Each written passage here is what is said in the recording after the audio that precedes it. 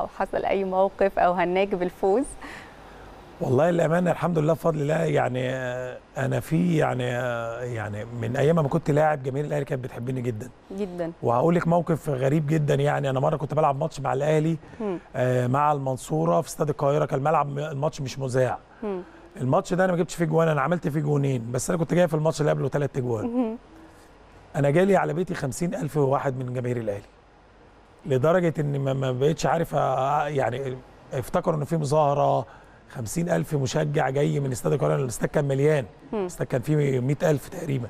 فعلا يعني ده حصل وجولي لحد بيتي من استاد القاهرة وأنا كنت ساكن في وسط البلد يعني منطقة الدرب الأحمر بتاعتي لقيت لك آلافات جاية بتشجعني فسبحان الله الحمد لله. بس ما حدش جه امبارح. لا امبارح يعني عايز أقول لك يعني كل المواقع وكل الناس بت الحمد لله يعني. ادتني حقي وزيادة وأكتر من كده كمان. و... وفي الآخر أنا بقول فضل النادي الأهلي عليا كبير جدا. آه، هو اللي اداني اسمي وهو اللي اداني شعبيتي وهو اللي خلاني مدرب عنده التزام وعنده أسس وعنده قواعد وعنده مبادئ في شغله.